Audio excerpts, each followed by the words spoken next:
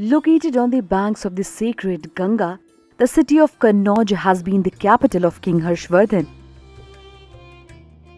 Kannauj is famous for its rich history. Kannauj is also famous for the fragrance of its perfumes.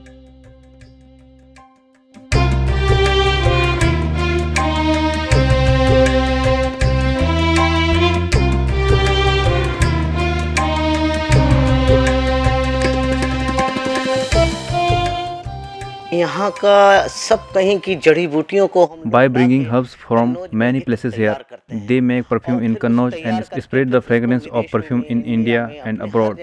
Due to this, Kannauj is often called as the city of fragrance. Hence, the name of Kannauj is written with golden letters that Kannauj is a city of fragrance. It is said the perfume flows in the drains in Kannauj. The city is also known as the capital of perfumes. the manufacturing perfumes has been going on since the 17th century.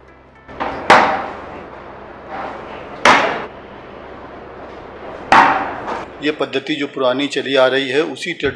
today, the perfume of Kannauj is made by the traditional method which keeps the fineness and basic properties intact.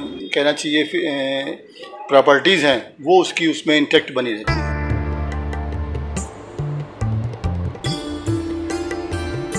Unit तो कन्नौज में करीबन There are about 300 units around Kannauj. It is not clear that how many are employed at present, how many are in sick conditions, and how many are working. Experts say that the knowledge of perfume making was found from the artisans of Persia. ये पद्धति करीबन बारहवीं This method dates back to the 12th century. Today, a bit has changed. We make perfume in this copper pot and bhabka. First, we steam, then condense with water to make perfume. के बाद उसको हम फिर पानी से condense करके उससे इत्र बनाते हैं ये There is a saying about perfume that in the 7th century, Begum Noor Jahan of Mughal Emperor Jahangir used to bathe in the pool. Rose petals used to be added to her bathtub. Nur Jahan once observed that rose petals were leaving oil in the water. After that, the practice of extracting aromatic oil from roses was started. Mughal Emperor Jahangir also promoted the research to extract the aroma from flowers. That is the time from where the beginning of the Kannauj perfume industry is said to be. We are famous for the production of natural scents We are identified with the natural products. करता था उसके लिए पूरी दुनिया में मशहूर है हमारी पहचान नेचुरल उत्पादों से है Even today in perfume factories, the process of distillation method is used in large copper vessels to produce perfumes.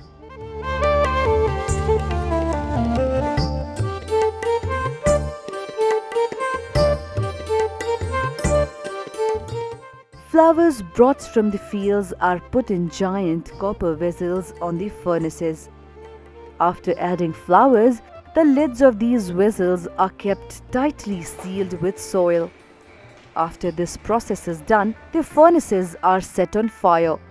After several hours of putting the vessels on fire, the steam coming out of these vessels are collected in another vessel. These are later transformed into fragrant perfumes. जो डेग भपके में हमारा ईंधन के रूप में कंडा Cow dung cake are used as fuel for giant copper pot and bhabka. Many women are involved in making it. करती हैं In Kannauj, the fragrance is also extracted from the soil. The potters here cook a special type of soil called the chica clay and prepare dough from it. After this, the potters sell these clay doors to perfume factories. In the perfume factories, the clay is cooked in copper vessels. Later, this aromatic fragrance is used with the base oil and became perfumes. These type of perfumes are used in gutka and perfumed tobacco. Exported where the need arises very much, consumed in India too. used in masala gutkha and tobacco to bring fragrance in it खुशबू लगाने के काम आती है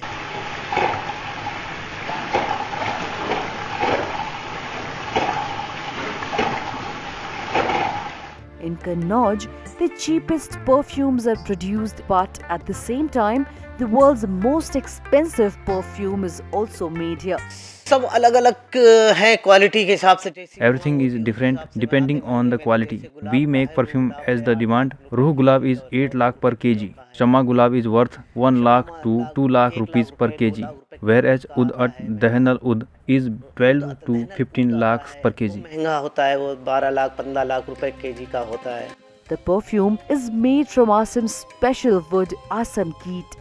The cost of 1 gram of this perfume goes up to 5000 rupees.